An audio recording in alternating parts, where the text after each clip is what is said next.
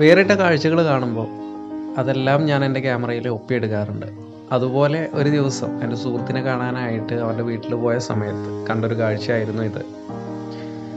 ഒരു കൊച്ചുകുട്ടിയും അവന്റെ മാമയും ഒത്ത് കളിക്കുന്ന ചെറിയൊരു കാഴ്ച. അപ്പോൾ അത് കണ്ടപ്പോൾ ഒരു കൗതുകം തോന്നി. ഇങ്ങനെയുള്ള ആളുകൾ നമുക്ക് ചുറ്റും ഒരുപാടുണ്ട്. അവരെ നമ്മൾ പരിഗണിച്ചിട്ട് മുന്നോട്ട് പോയി കഴിഞ്ഞാൽ അവർക്കും അത് വളരെയധികം ഒരു സന്തോഷമുള്ള കാര്യമാവും. അപ്പോൾ അത് കണ്ടപ്പോൾ എനിക്കും ചെറിയൊരു ആഗ്രഹം. ഇപ്പോൾ ഞാനും അങ്ങേരും കൂടെ കുറച്ച് നേരം അങ്ങോട്ട് കളിച്ചു.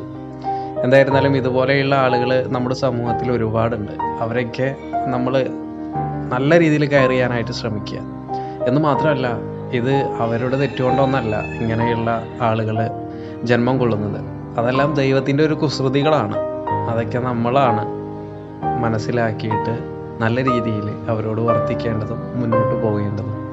ഇങ്ങനെയുള്ള ആളുകളോട് സ്നേഹം കാണിക്കുക അവരെ മാറ്റി നിർത്താതെ തള്ളി നിർത്താതെ നമ്മുടെ ഒപ്പം തന്നെ ചേർത്ത് നിർത്തുക. ഇങ്ങനെ ഒരു മനോഭാവം വെച്ച് പുലർത്തുകയാണെങ്കിൽ നമ്മുടെ ലോകം സ്വർഗത്തിന് തുല്യമാവും സ്വർഗതുല്യമായിട്ട് മാറും.